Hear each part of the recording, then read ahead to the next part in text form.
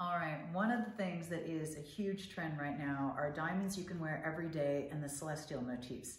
Now this is actually gonna be white zircon. White zircon is always used as a beautiful natural substitute for diamonds, but these are done in an even more believable manner. So here they've taken white zircon, that's a natural stone, and they've chosen them to really give the look of diamonds because what you're gonna have is a little bit difference in color, a little bit difference in the clarity so that it really looks like you have a beautiful kind of sliver moon uh, crescent design in diamonds on this beautiful chain. The chain is 18 karat gold over silver. It's 18 inches with a two inch extender, but this is the look.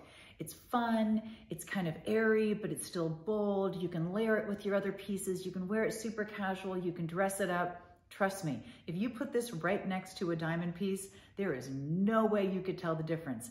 They didn't do it too perfectly. They didn't do it too cookie cutter. It has that handmade diamond look all done in white zircons. If you're a girl who loves great jewelry, this is your necklace.